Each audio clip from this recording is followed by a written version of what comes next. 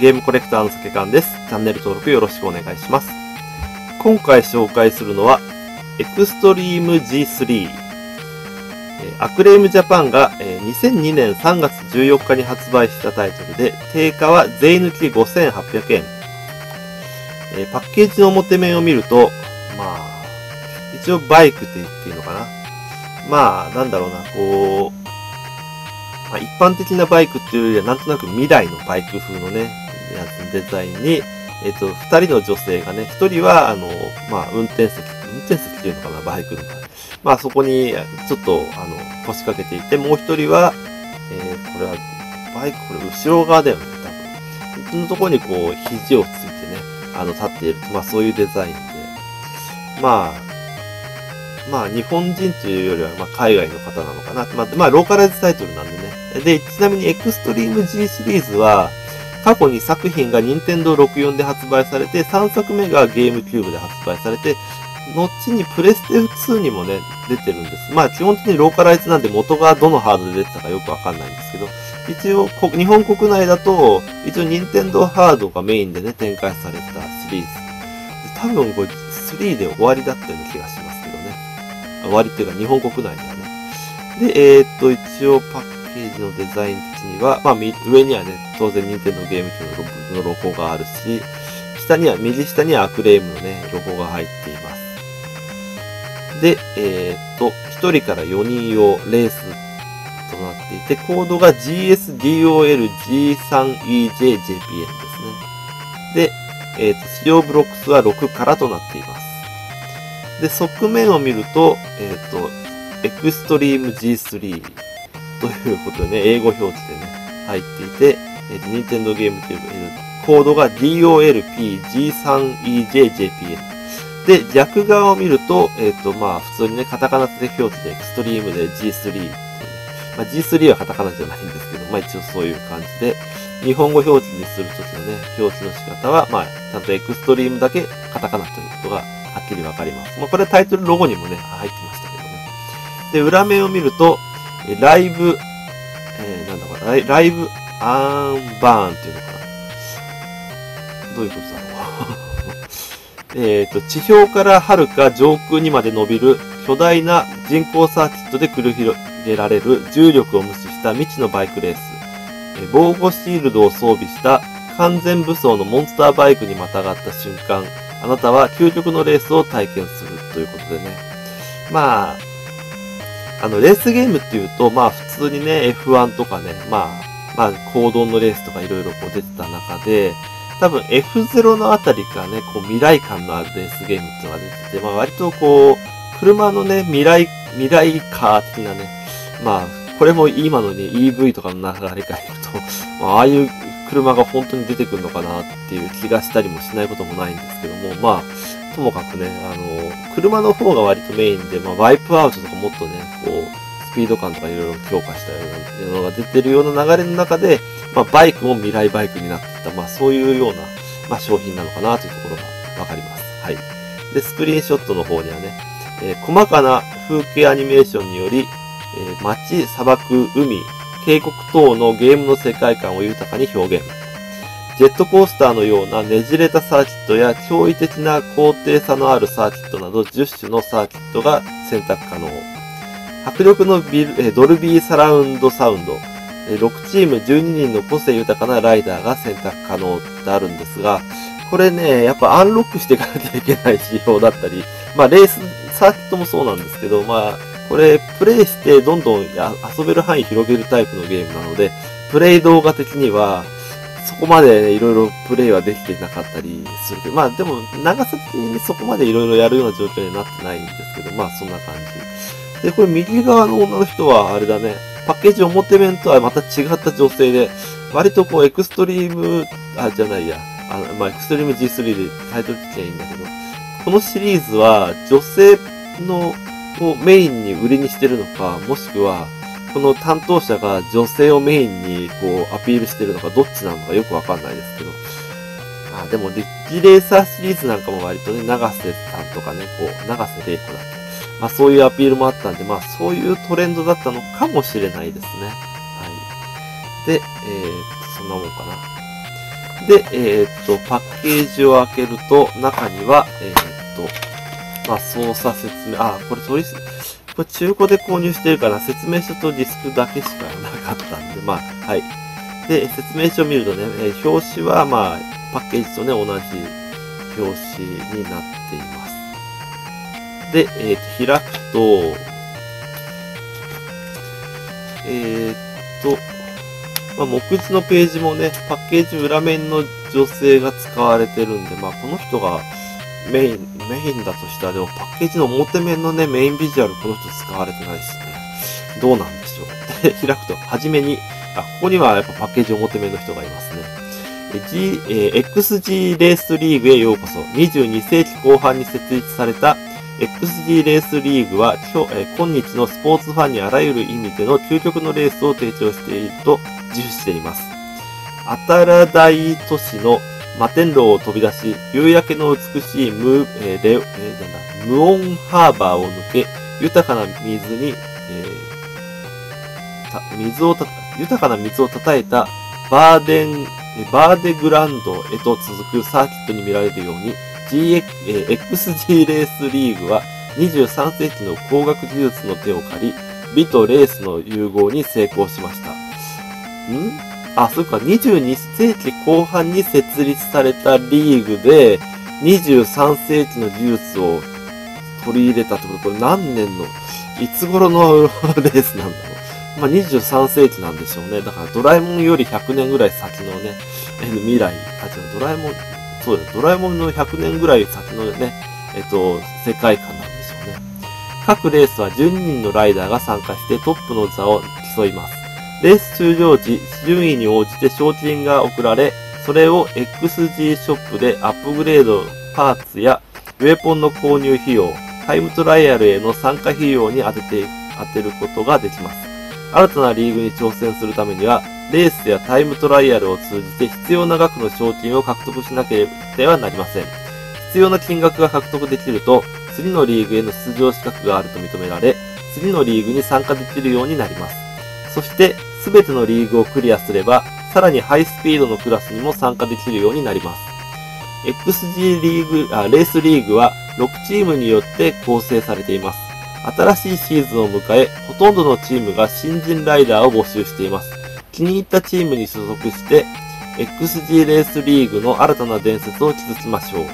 今後のあなたの活躍を期待しています。グッドラックということでね。あのー、まあ、レースゲームっていうと結構自由参加できるようなね、タイプのね、ゲームから、まあ、こう、お金を稼いで次のレース参加っていう感じになるゲームもあるかと思うんですけども、このゲームはだいぶ厳しいんですよ。だから稼いで、パーツをこう、強化していくのも必要なんだけど、それと同時に、あの次のレースに参加する費用にもしなきゃいけないから、こう、まあ、下手な人はね、あの、新しいレース挑戦してダメだったらまたあの、いつものレースに戻ってお金稼がなきゃいけないっていうんで結構、こう、めんどくさい仕様かなってとこですね。これだけ見てもね。で、えっ、ー、と、メインメニューの方には、えっ、ー、と、XG キャリアモード。まあ、これがメインですね。XG レースリーグがいよいよ開幕します。各チームとも有能な新人ライダーを募集しています。気に入ったチームに所属して、XG レースの新たな伝説を築きましょう。ということですね。で、XG チームキャリアモードの方で、まあこれ、これは、えー、と、チームキャリアだからね、これはお友達と2人で同じチームに入ります。レースではパートナーを組んで参加しますということでね。で、あとマルチプレイモードの方は、えー、画面分割で4人プレイですね。で、データロード、オプション。まあそんな感じ。で、コントロール方法の方は、まあ、えっ、と、これはメニュー画面とゲーム画面のコントロールが、まあ、載ってますね。まあ、基本的には、やっぱり上下で、えっ、ー、と、重心の移動があるってところが、割とポイントかもしれないですね。あの、バイクレースだと大体こう、重心重要になるじゃないですか。車のゲームであんま重心は重視しないけど、バイクは重心が重視されるんで、このコントロールスティックの上下っていうのがね、割と重要かなというところです。で、あとあれか、十字ボタンの左右ウェポン切り替えっていうところと、あ、まあ、Z ボタンも対応してる。で、Y ボタンのね、ウェポン使用ってところが、まあ、これはレースゲームなの？どうなの？ってところが、まあ、あるんですが、一応そういうの、要素もありますで、次のゲ、えー、とページに行くと、えー、とゲーム画面ってことで、一応、ワンプレイ時の画面、えー、ゲーム画面とね、2プレイヤー時のゲーム画面が載ってるんですけど、えだから4人プレイは、ここには載ってないんだな。で、えっ、と、ポーズメニュー、まあいいや、ポーズメニューの中にバイブレーション、プレイヤー1から4の振動機能のオンオフを切り替えることができますとかありますね。で、えっ、と、あとは、まあ、オプション、まあ、そんなもんかな。あ、スタッフロール。このゲームを作成した開発チームの紹介です。作成なんだな。うん。で、えっ、ー、と、XG キャリアモード。え、新人諸君、XG レースリーグへようこそ。新人の場合、新人募集中のチームであれば、どのチームにも入ることができます。しかし、良い結果を残せない場合は、リストラされる可能性もあります。ということで、まあだから厳しいんですよ。レースに参加するにしても、ここでね、振り、あの、すぐに失敗してゲームオーバーになっちゃうし、お金は常に稼がなきゃいけないし、パーツを充実させなきゃいけないし、レースに参加するにもお金がかかるしって考えると、なかなか下手な人はね、まあ、セーブデータを、ね、失敗したらセーブデータロードしてやり直していった方が、あの、効率がいい可能性もあります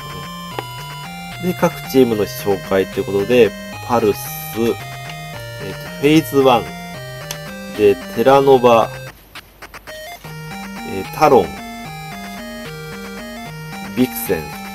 で、えー、スターコムってあるんですが、あれえっ、ー、と、タロンが、このパッケージ裏面にいた女性がいるのかな？なんか一人で立ってるとより、ちょっと二人で立ってるとちょっと感じ悪いですね。こう、なお、河村っていう人がちょっと慣れ慣れしいですよね。あこの女性は、えー、ジャカルマ、えー、マラノックスというね、なかなかこう、はい、そういうタイプ、そういう名前ですね。で、えっ、ー、と、パッケージの表面にいる二人は同じユニフォームなんですが、これがビクセン。えっ、と、で、の二人組で、ここが女性チームなんですね。ビクセン。ビクセンは2218年に結成された唯一の女性だけのチームです。ライダーたちもそれを誇りに思っています。心理テストでも女性の方が男性よりも情報処理能力に優れていると立証されました。そういう意味ではこの XG レースでは女性こそが優位に立てると信じています。洗練された上品な走り、それは私たちのモットー。ビクセンはライダーに平等なチャンスを与えてくれるチームですってあるんですけど。えー、っと、女性しかいないチームだから、何が平等かよくわからないのと、まあ、あとはあれだね、あのあの、プレイする人次第なんだよね。走るの、洗練的な上品、洗練された上品な走りをできるか、プレイヤー次第っていうところかな。はい。で、あとは GX キャリアも、あキャリアメニューの方ね。えっ、ー、と、これはキャリア2人プレイの方ですね。で、えっ、ー、と、各リーグの紹介ということで、えー、と、まあ、ブロンズリーグ、シルバーリーグとして、で、ゴールドリーグ、プラチナリーグ、まあ、10, 10コースあるということですね。まあ、ゲーム、ちょっとあんまりね、レースゲーム上手くない人だとずっとブロンズリーグっていうことになるかなという気がします。はい。で、ウェポンとアイテムグレードアイ、アップグレードアイテムですね。これは、だからウェポンを買って、買うことは重要なんですけど、割とこの1回でね、あの、あ、大丈夫か。えっ、ー、と、ウェポンはアイテム、アップグレードパーツを購入することができます。一度購入したアイテムは売却しない限りなくなることはありません。ウェポンのエネルギーは、えっ、ー、と、レース中にサーキット内の紫色のピットレーンで回復することができます。ということでね、まあ、だから武器、武器がやっぱ必要なのね、レースには。まあ、いろいろ結構物騒だな。結構物騒だぞ、武器。レールガンなんかもある、あるね。はい。で、アップグレードの方は、えー、と、まあ、こっちが、レースゲームとしてはね、趣旨としては合ってるアップグレードが多いですよね。でもシールドの強化ってことはあれか。下手でガンガンぶつかってね、バイク壊しちゃう人はシールドを強化した方がいいとか、まあそういうところかな。で、ヒントと裏技。えターボ使用時にはエネルギーの残量に気をつけましょう。使い切ったところに敵の攻撃を受けるとジエンドです。ターボを小刻みに使ってスピードを保つようにしましょう。えーエネルギーを節約できます。えーエネルギーを回復できるピットレーンをうまく活用しましょう。緑色のレーンはターボ、シールドエネルギーのピットレーン、えー紫色のレーンはウェポンエネルギーのピットレーンです。スタート時にはエンジンの回転数に注意してベストのスタートができるようにしましょう。